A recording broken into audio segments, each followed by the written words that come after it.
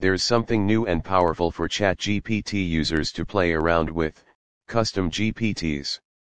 These bespoke bots are essentially more focused, more specific versions of the main ChatGPT model, enabling you to build something for a particular purpose without using any coding or advanced knowledge of artificial intelligence. The name GPT stands for Generative Pre-trained Transformer, as it does in ChatGPT. Generative is the ability to produce new content outside of what an AI was trained on. Pre-trained indicates that it's already been trained on a significant amount of material, and transformer is a type of AI architecture adept at understanding language. You might already be familiar with using prompts to style the responses of ChatGPT, you can tell it to answer using simple language, for example. Or to talk to you as if it were an alien from another world. GPTs build on this idea, enabling you to create a bot with a specific personality. What's more, you can upload your own material to add to your GPT's knowledge banks. It might be samples of your own writing, for instance, or copies of reports produced by your company. GPTs will always have access to the data you upload to them and be able to browse the web at large. GPTs are exclusive to Plus and Enterprise users, though everyone should get access soon. OpenAI plans to open a GPT store where you can sell your AI bot creations if you think others will find them useful, too. Think of an app store of sorts but for bespoke AI bots.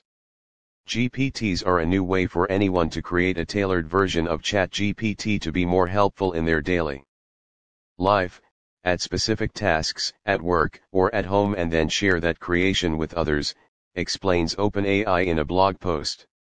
For example, GPTs can help you learn the rules to any board game, help teach your kids math, or design stickers.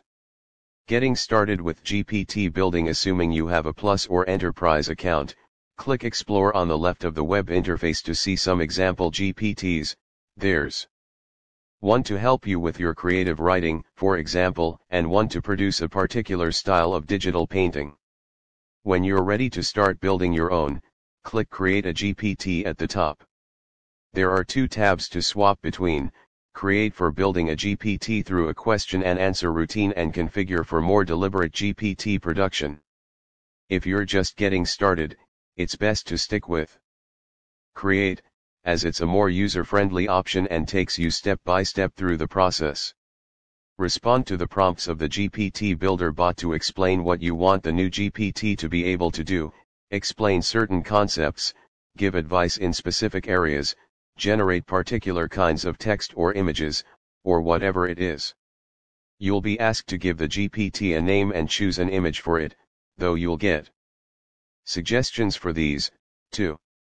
As you answer the prompts from the builder, the GPT will begin to take form in the preview pane on the right together with some example inputs that you might want to give to it. You might be asked about specific areas of expertise that you want the bot to have and the sorts of answers you want the bot to give in terms of their length and complexity.